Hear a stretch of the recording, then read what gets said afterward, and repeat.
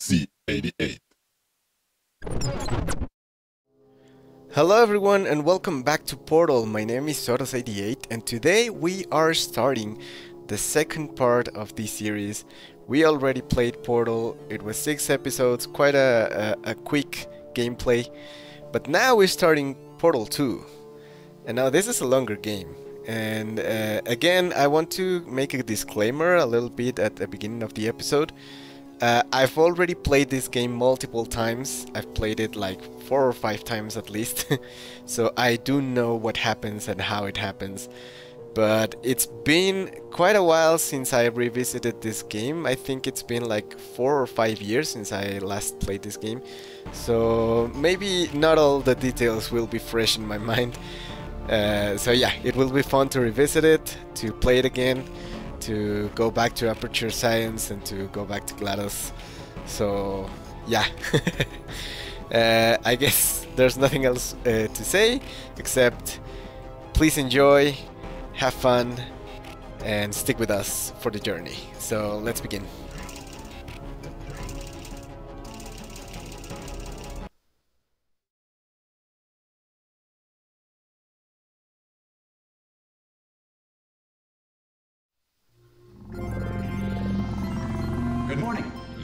In suspension for 50 days. In compliance with state and federal regulations, all testing candidates in the Aperture Science Extended Relaxation Center must be revived periodically for a mandatory physical and mental wellness exercise. Alright. You will hear a buzzer. When you hear the buzzer, look up at the ceiling. Good. You will hear a buzzer. When you hear the buzzer, look down at the floor. Good. This completes the gymnastic portion of your mandatory physical and mental wellness exercise. Okay, that was quick. There is a framed painting on the wall. Please go stand in front of it. This is art. You will hear a buzzer. When you hear the buzzer, stare at the art. Alright. You should now feel mentally reinvigorated. If you suspect staring at art has not provided the required intellectual sustenance, reflect briefly on this classical music.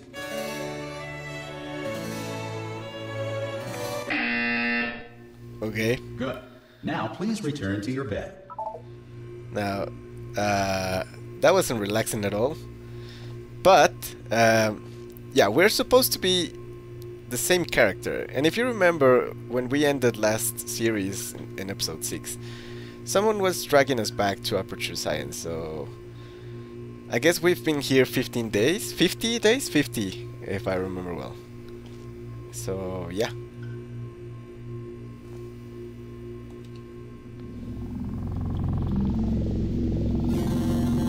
Just keep that in mind. Good morning. You have been in suspension for nine, nine, nine, nine, nine, nine, nine. This courtesy call Hello? Anyone in there? Subjects should vacate the enrichment Hello? immediately. Any test Are you gonna open the door At, this time at any time? to have exercised his or her Hello? right remain in extended relaxation. Are you gonna open this door? suspension of this 'Cause it's fa- it's If you have fairly urgent. or concerns regarding this policy, oh, or Oh, if just open the door. That's too aggressive. this message. That's too aggressive. Why not open the door? desk in front of you. And write us a letter. Ha! Ah! Oh God, you look te- um good, looking good actually. Are you okay? Are, are you? Don't answer that. I'm absolutely sure you're fine. There's plenty of time for you to recover. Just take it. slow. Please prepare for emergency evacuation. Stay calm. Stay, stay calm. Prepare. It's all the same. Prepare. It's all fine. All right. Don't move. I'm gonna get us out of here. Oh, you might want to hang on to something. Word of advice. Up to you.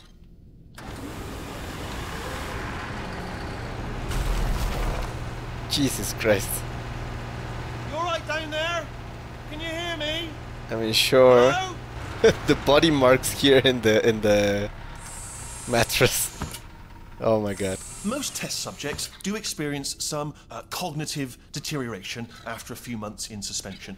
Now, you've been under for quite a lot longer, and it's not out of the question that you might have a very minor case of serious brain damage.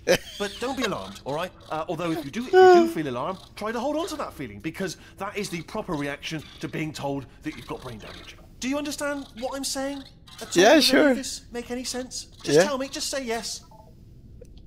Okay, what you're doing there is jumping. Uh, you just you just jumped. But never mind. Say Alfred. Apple. Okay, you know what? That's close enough. Just hold tight. All reactor core All right. safeguards are now non-functional. Please prepare for reactor core meltdown. And right away we are just like, Okay, look, I wasn't going to mention this to you, but I'm in pretty hot water here. Jesus. How are you doing down there? You still holding on? The reserve power ran out, so of course the whole relaxation centre stops waking up the bloody test subjects. Hold on, this is a bit tricky. And of course, nobody tells me anything. No, why should you tell me anything? Why should I be kept informed? You know, about the life functions of the 10,000 bloody test subjects I'm supposed to be in charge of. Why? It's close. Can you see? Am I gonna make it through? Have I got enough space? Uh, just, just gotta get through here. Okay, I just gotta concentrate. And whose fault do you think it's gonna be when the management comes down here and finds 10,000 flipping vegetables? Alright, so no, I hit that one. I hit that one. The massive scale of this place, man. Okay, listen, we should get our story straight, alright? If anyone asks, and no one's gonna ask, don't worry, but if anyone asks, tell them as far as you know, the last time you checked, everyone looked pretty much alive. Alright? Not Yeah. dead. Uh-huh. Okay, almost there. On the other side of that wall is one of the old testing tracks. There's a piece of equipment in there that we're gonna need to get out of here. I, I think this is a docking station. Get ready. Oh man. Jesus. Good news, that is not a docking station. So there's one mystery solved. Uh, I'm going to attempt a manual override on this wall. Could get a bit technical. Hold on. Oh man. Almost there. Remember, you're looking for a gun that makes holes, not bullet holes. But don't worry, you'll figure it out. Seriously, do hold on this time. Jesus. The chaos, man. There we go. Now, I'll be honest, you are probably in no fit state to run this particular type of cognitive gauntlet. But um, at least you're a good jumper. So you got that, got the jumping on your side. Um, just do your best, and I'll meet you up ahead. Oh man, I mean, I I missed so much this this type of spirit. humor. Yeah, jumping. You you told me I was good at jumping, right? But okay, as you can see, quite a long time has passed since we last were in these corridors and in these facilities. We never got a glimpse to how massive they were. I mean, you could imagine just uh, because of the um, scale of the first game, right? But here, I mean, we are shown, like, properly shown how big this place was. And yeah, since many, many years, I've always wondered how many years because I haven't gotten, like, that deep into the lore. But yeah, I, I mean, at least the, the machine was like four or or five nine. So if if if it was if it was four, that means like uh, at least three hundred years, maybe. Nah, three hundred is a lot, right? If it was five years, five numbers. Oh, Hello, and again, welcome to the Aperture Science Enrichment Center. We are currently experiencing technical difficulties due to circumstances of potentially apocalyptic significance beyond our control. However, thanks to emergency testing protocols, testing can continue.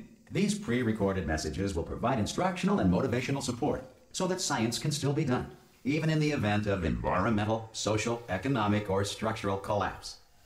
The portal will open and emergency testing will begin in three, two, one. Okay, so again, as I told you, we are still the same person. This is our new version of, of Chell, the character of the first uh, game. So, uh, as I was mentioning, yeah, this this place has been abandoned for a long time, and this actually relates to the games from uh, Valve as well, which are Half-Life and Half-Life 2. The apocalyptic events are actually the the events from those games, and that's why uh, well it ties with us killing GLaDOS in the last game, so GLaDOS is now no longer in charge of the uh, installations of Aperture Science, and that's why uh, the installations just go to this state. They just go to waste. so the classical radio, I don't think I can pick it up right now. Yeah, no, I cannot do that. Oh, yeah, I can.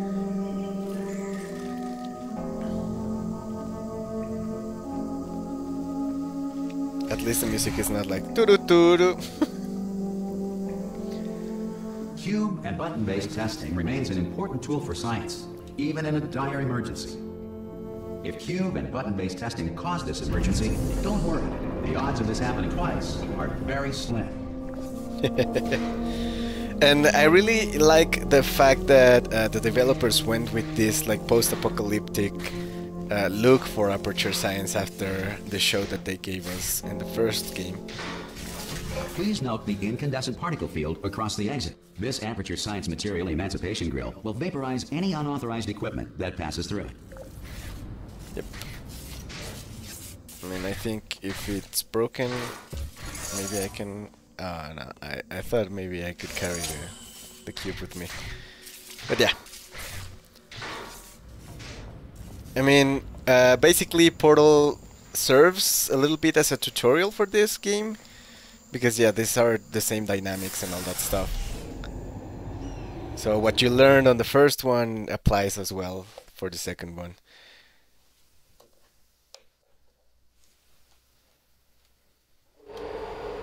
If you feel liquid running down your neck, relax, lie on your back, and apply immediate pressure to your temples.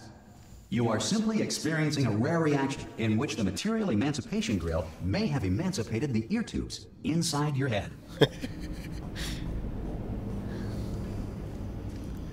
so nothing to worry about, right?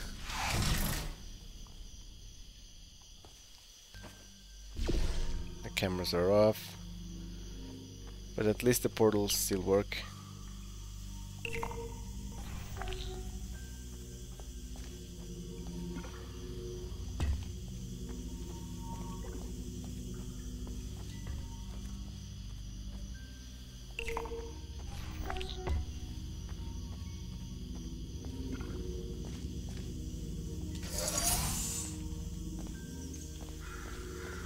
Wondered if I could just break this, but yeah, I can't.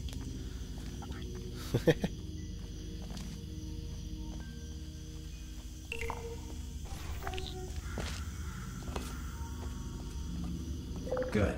Because of the technical difficulties we are currently experiencing, your test environment is unsupervised.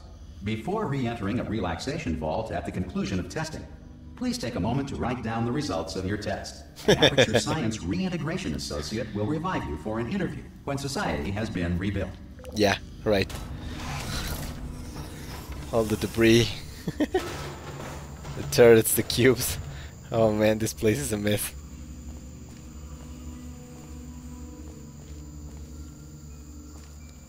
I really love the aesthetics of the post-apocalyptic aperture science.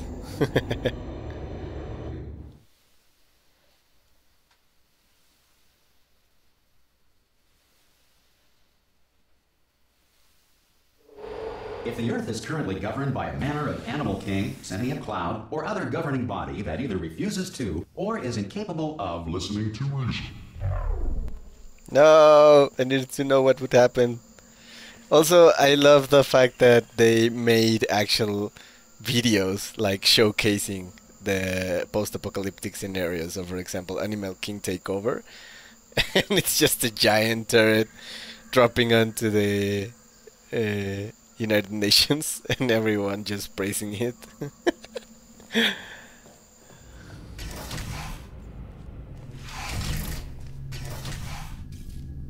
okay, second test chamber. Hey, you. Hey! There should be a, a portal device on that podium over there. I can't see it though. Maybe it fell off. Do you want to go and have a quick look? Oh! Nope. I'm dead. Can see the portal gun? And I don't know if So you remember. That's important. Should have asked that first. Um, do you know what I'm going to do? I'm going to work on the assumption that you're still alive, and I'm just going to wait for you up ahead.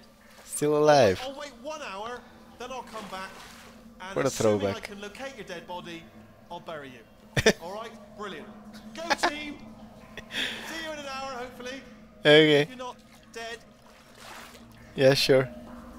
Sure, man. But if you remember, in the last game there was somebody helping us, which makes this a bigger mystery.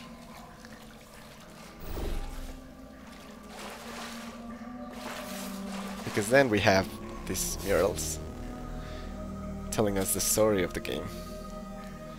So the scientists create GLaDOS. GLaDOS loses control of herself and kills everyone. With venom and gas and all that stuff. Then GLaDOS uh, plays with Chell and promises the cake. The companion cube is here. And of course, Chell leaves Aperture Science, she wins. And this person gets the portal gun as well. And there's a portrait of us. So that's that's interesting, to say the least. The funny thing is, someone dragged us back. And here we have a clock. Well, not a clock, but the moon cycle, which is going to be a little bit of an important thing. so remember this. And let's take the gun.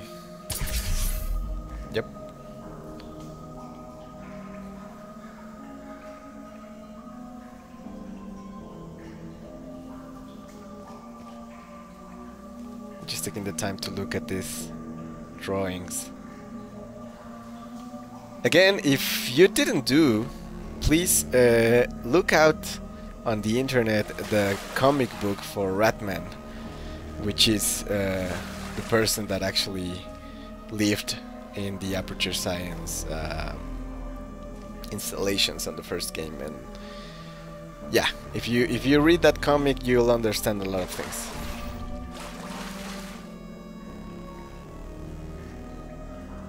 So I guess let's just get out of here, even though this is one of the most beautiful places.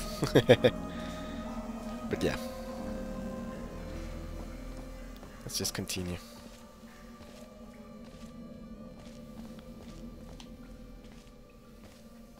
We're coming back to Aperture Science, but in ruins, which is interesting. And here we go. Some emergency testing may require prolonged interaction with lethal military androids. Rest assured that all lethal military androids have been taught to read and provided with one copy of the laws of robotics. To share. to share. Oh man, the humor in this game is amazing.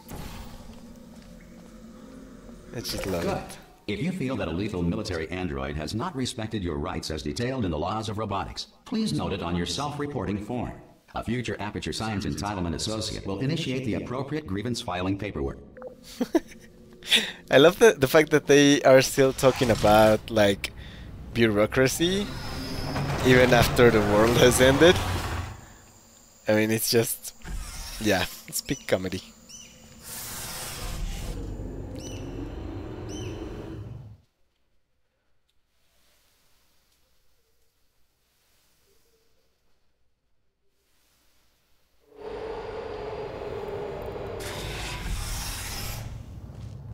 This next test is very dangerous. To help you remain tranquil in the face of almost certain death, smooth jazz will be deployed in three, two, one.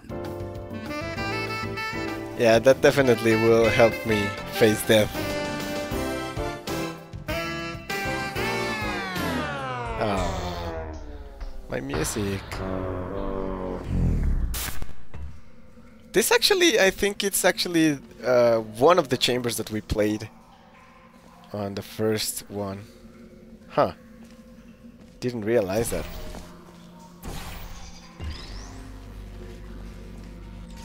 But yeah, I think this is actually one of those chambers.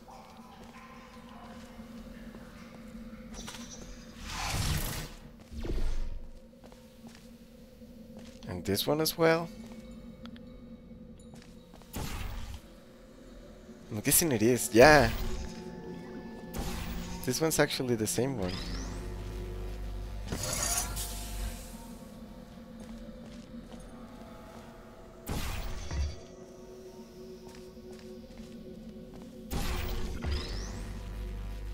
Great work. Because this message is pre-recorded, any observations related to your performance are speculation on our part. Please disregard any undeserved compliments. Yeah, this was the chamber where she just told us that uh, they were not gonna uh, watch us, and then once we reached here, she just said like, "Yeah, we were watching you, and we are not going to tell any more lies anymore." but of course, this was just the hole, and now we can go over here, but also over here.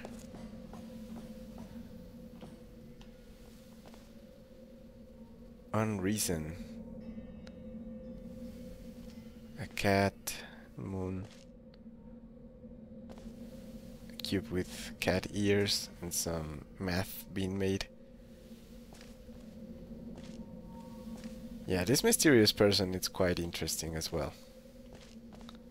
Monitors. Okay. Let's keep going.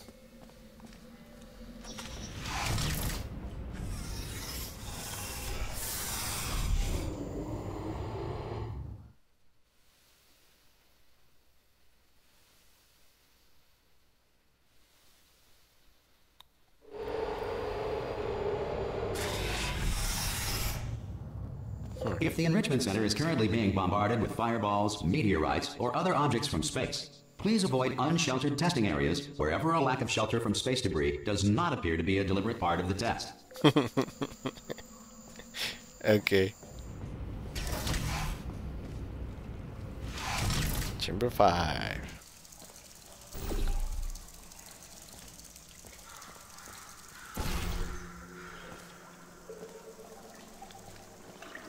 Now it starts getting interesting.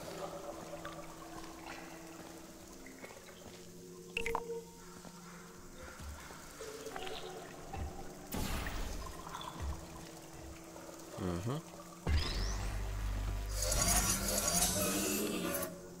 Okay. This opens up this.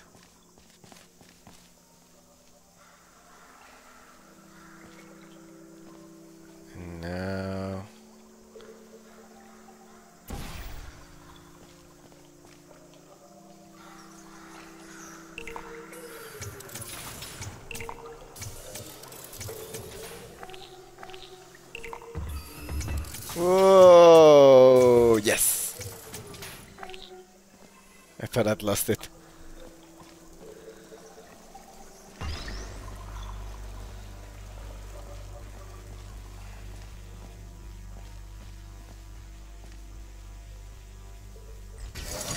Well done. The Enrichment Center reminds you that although circumstances may appear bleak, you are not alone. All Aperture Science personality constructs will remain functional in apocalyptic, low-power environments of as few as 1.1 volts.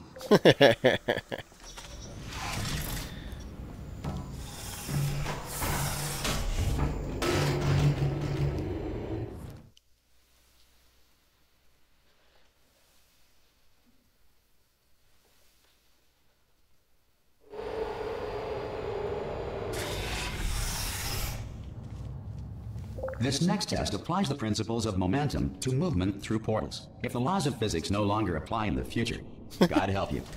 God help you. okay.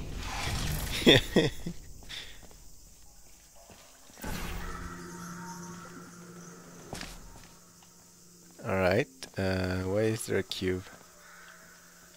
Okay, I need to go there. Okay, yeah, I see the button. Okay, okay, okay, okay.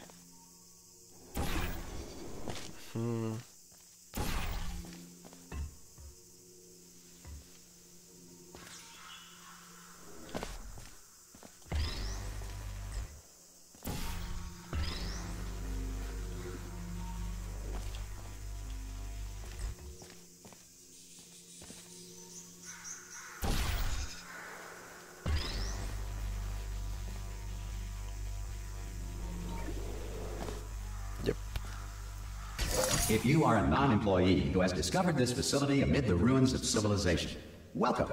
And remember, testing is the future, and the future starts with you.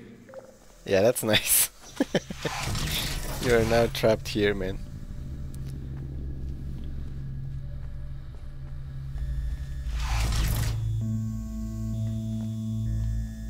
Oh, the music. I really love the music of this game.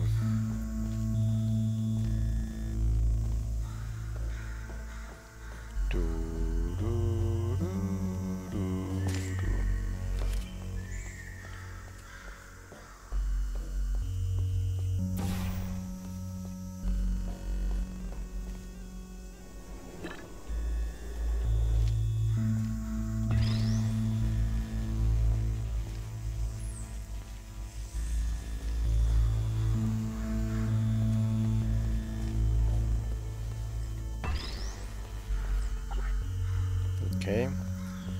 It's now up. Now let's place it here. And that way we can reach. And place the cube. And now we have to calculate a little bit just so it's properly placed. And I think that should be it. Yep, there we go. Good work getting this far, future starter. That said, if you are simple-minded, old, or irradiated in such a way that the future should not start with you, please return to your primitive tribe and send back someone better qualified for testing. Return to your tribe and send back someone better qualified. Right. Okay, yeah. I mean, that makes sense. And on that note, we're actually going to finish uh, today's episode because I've been going for a little bit longer than I wanted. Uh, so yeah, I think that's it for today's episode, guys. I really hope you're enjoying. And if you are, please consider leaving a like and maybe subscribing to my channel. And I'll see you in the next uh, testing chamber of Portal 2. See ya.